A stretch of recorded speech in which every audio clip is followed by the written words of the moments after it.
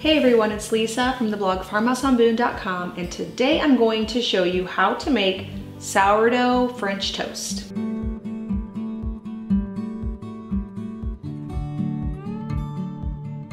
I've been a fan of French toast for a really long time now. My father-in-law says that my cinnamon raisin bread French toast is the best he's ever had. Now, it is not a sourdough one. It is when I make regular yeast risen bread. But today I'm going to show you how to do it with my sourdough bread. To start this process, I made a batch of my sourdough bread. You can find the recipe and tutorial here on my YouTube channel as well as the printable recipe over my blog. Essentially, you get the dough going 8 to 24 hours in advance by combining flour, sourdough starter, oil, honey, salt, and kneading the dough Then you allow it to do its first rise. This really gives the grains a chance to ferment and make them more digestible. After the dough doubled, I punched it down and added it to my loaf pans where it had a chance to rise.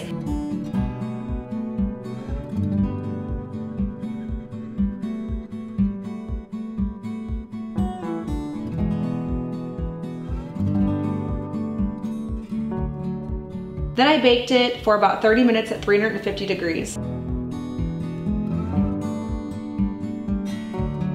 Now to start the French toast process, I took six eggs, a cup of milk,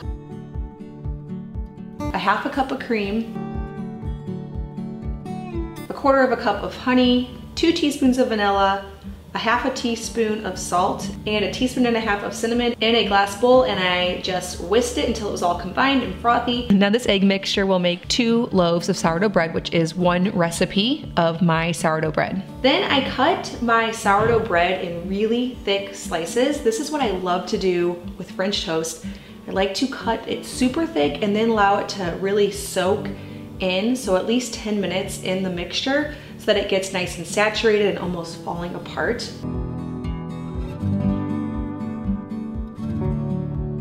Next, I'm heating up a cast iron skillet over medium heat. I don't want to drop the bread into it until it is nice and hot so that way it doesn't stick. And also it gives it that crispy, almost fried taste if you add butter or coconut oil to it. I'm going to fry mine in butter, it's what I like to do, but you can also use coconut oil.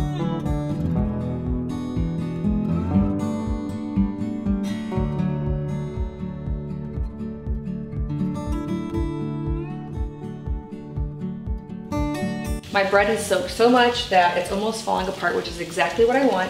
Then after it gets kind of caramelized on one side from hitting that hot butter, I like to give it one flip to get it caramelized on the other side, and then I turn my heat way down so it can cook through because it's really thick and there's eggs all throughout, and it just gives it a really wonderful consistency if you allow it to cook all the way through on low. All right, well, thank you so much for watching this video. If you are brand new to sourdough, make sure to hit up all my videos. I have so many at this point, I don't even know how many. I have a sourdough playlist that starts with how to make a starter and then all of my recipes. I have desserts, sides, entrees, everything now at this point with sourdough and of course bread and bread products are some of my very favorites. This is a wonderful breakfast for the weekends. A little bit of forethought is required, but it's worth it. So delicious, especially if you top it with some raw butter and maple syrup. It's perfect.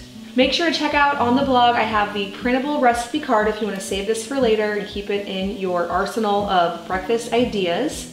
If you are brand new to my channel, please hit that subscribe button. I make two new videos every week on food from scratch, natural living, and a handmade home.